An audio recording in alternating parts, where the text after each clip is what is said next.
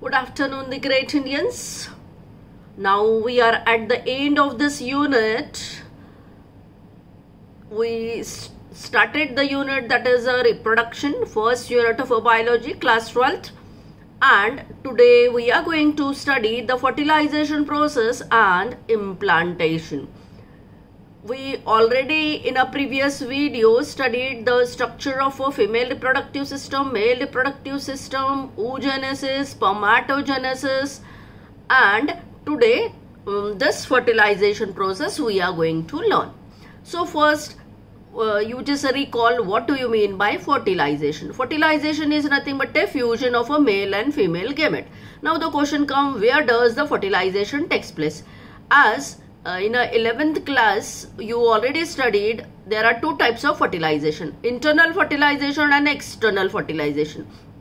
So what do you mean by internal and what is the difference between internal and external fertilization? The fertilization which is takes place inside the female body is termed as a internal fertilization and when the fertilization means fusion between male and female gametes takes place outside the body then it is termed as external fertilization. Human being is classified under the internal fertilization. So fertilization takes place in a female reproductive system. Now you already uh, know the different parts of a female reproductive system. What are the different parts of a female reproductive system? Yes a pair of a ovary a pair of a fallopian tube or also termed as a oviduct uterus vagina cervix. These are the different parts of the female reproductive system. So here the fertilization takes place in the fallopian tube or oviduct. We have seen in a previous video the different uh, units or the parts of a oviduct. So basically more uh, elaborate way the fertilization occur at the ampulla ampulla and isthmus. These are the two different units of a oviduct. So in the junction between the ampulla and isthmus this fertilization process takes place. The process of fusion of the sperm and the ova is known as fertilization during the fertilization, the sperm induces changes in the zona pellucida. We already studied while studying the structure of ovary, the ova. That time, the outermost layer is nothing but a zona pellucida, which and blocks the entry of other sperm. When one of the sperm is able to penetrate the ova properly, chemical changes occur and they just block the layer that is the zona pellucida and they do not allow the other sperm to enter or to pour their genetic material inside the ovum. This ensures that only one sperm fertilizes, fertilizes an ovum. Acrosome help the sperm enter the cytoplasm of the ovum. Now you must know, uh, you must recall what is acrosome. Now on the screen you are able to see basically the human sperm is divided into majorly three parts. What are the three parts you are able to see towards the left hand side? Head, middle piece and tail. Head contain acrosome and nucleus. So uh, acrosome contains the different types of a digestive enzyme and nucleus contains uh, 23 chromosome. Okay? Now middle piece also termed as that is a part of a collar containing mitochondria which uh, supply continuously the energy to the sperm and tail helps in a motility or for the movement now uh, towards the right hand side you just see on the screen the whitish portion is nothing but a ova. Millions of the sperms are trying to penetrate into the uh, ovum. Now uh, the cycle of the we just uh, see the cycle of this or the duration how much time is required for this fertilization process. you must once again the re revise the female reproductive system. So this is a ovary, a pair of a ovary. This is a oval shaped red, red color ovary. And these are tube like system is nothing but a oviduct or a fallopian tube. Both are open into a pouch like structure that is a uterus. and uh, this is made up of with the three types of a tissue endometrium myometrium and perimetrium this is the um, cervix and vagina okay so once the insemination of the uh, sperm enters in the female reproductive uh, tract it enters into the fallopian tube. When it reaches in the oviduct or fallopian tube the fertilization process occur. Now one of the sperm is able to enter into the ova and the, the, then this wall zona pellucida is able to block the entry of other sperm and they are able to uh, put their genetic material inside the ova. This is about all the fertilization process sequence. Okay. Uh, you just uh, copy this diagram uh, by checking the video in your copy. It is very easily shown. Now, the completion of a second meiotic division of the secondary oocyte. The formation of a haploid uh, ovum and a secondary polar body. The haploid sperm and the nucleus fuses with the haploid nucleus of the ovum. Then zygote is formed. Basically, this is the process of um, zygote formation. Now, once the zygote is formed, this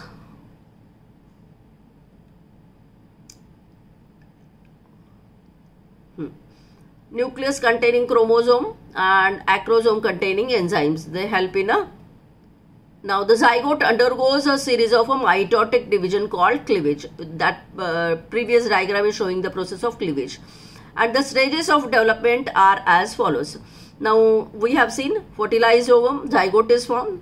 It go for a mitotic division to produce the two cells. Two cell stage again go for a mitotic division to produces the four cell stage.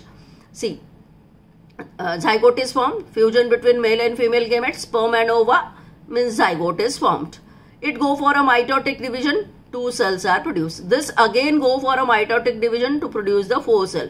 Four cell again go for a mitotic division to produce the eight. Now, once the cell is formed, they go for further development. That is, whatever the uh, cell stage is formed, that ball of cells are formed is termed as morula.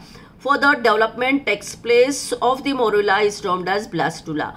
And then when it attach this the further development in the blastula takes place gastrulation. Now you are able to see see in this picture also the same thing which I explained just now that is shown. Fusion between male and female gamete. Both are penetrating their nuclear content go for a mitotic division, two cells are formed. They go for again mitotic division to produce four cells, four to eight. Like this, morula blastulation, morula, blastula and gastrula is formed. Sperm and ovum, first diagram showing, second zygote, third two cell stage, fourth four cell stage, fifth morula, sixth uh, blastula and seven gastrulation. Day 1 this the second day they go for mitotic division this is shown within a five days they are able to reach into blastocyte c. First day mitosis two cell four cell structure then unorganized cells of a mass is formed then this mass. Now children this you already studied. That is the blastocyte blastocytes is nothing but whatever the cells uh, are formed they get arranged themselves into a three germ layer. We already studied this monoblastic, diploblastic and triploblastic. Okay, blastula means formation of a layers. Okay, so if one layer is formed, monoblastic, two layers are formed, diploblastic. Human beings are cla classified under triploblastic. So this cavity is formed, the cells are arranged and this is the inner mass of the cell. Now this is the morula. The, uh, this uh, mass of a cell is termed as morula. Now blastocyst. These cells then arranged into a forming a different layers. These, they, they, these cells get arranged themselves into a different layers. The cells in the blastocytes are arranged into an outer trophoblast and inner cell mass. The trophoblasts get attached to the uterine endometrium. The process is called implantation. When this blastocyte or trophoblast or uh, this blastocytes when attached to the uterine wall then this process is termed as implantation sometimes the question may be asked what is implantation so implantation is nothing but a this mass of a cell get attached to the uterus wall or uterine endometrium wall. So this is termed as implantation. This leads to pregnancy. The inner mass cell mass get differentiated to form a embryo. Now this is the structure which are showing the for the once the cells are arranged this this is this is the after the fertilization this is the cellular stage. They have shown till the implantation process this is also a implantation process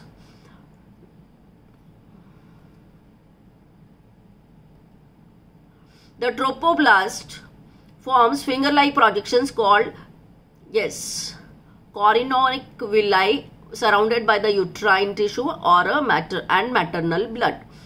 The, this chorionic villi and the uterine tissues get in, integrated to form the placenta. Placenta is nothing but a uh, tubular connection between the developing fetus and the mother. The placenta is connected to the embryo by the umbilical cord. Now this is the structure of spine. Yes. Now see now in this way this uterine wall attach that embryos fetus get attached or this unorganized mass of the cells is get attached to the uterine wall and then further development takes place. After some days then this is showing this is the yes tell this is the villi connecting stalk okay digestive tract amniotic fluid this is the uh, amniotic fluid. Now this is the uh, developing embryo. See this is nothing but a umbilical cord which helps in a yes helps in a supplying three needs. Placenta uh, fulfill the three needs needs. What are respirational yes nutritional and excretional. Function of the placenta. Supply the oxygen and removal of carbon dioxide. Transport the nutrients to the embryo. Excretion of the waste material produced by the embryo and hormone function. HCG, human chorion, uh, chorionic gonadotropins, human placental lactogen, estrogen, progesterone and relaxin. This is the diagram which shows how the connection between these takes place, how these waste products are removed. This is the shown mother's blood connection as well as the placenta. Immediately after the implantation, the inner cell mass get differentiated into endoderm, mesoderm and ectoderm. I already explained. This is the ability of inner um, cell mass is due to the presence of multipotent cells called stem cells. This is the layer endoderm, mesoderm and ectoderm.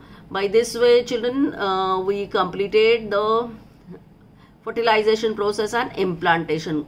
Uh, study the video and prepare the notes. Thank you very much.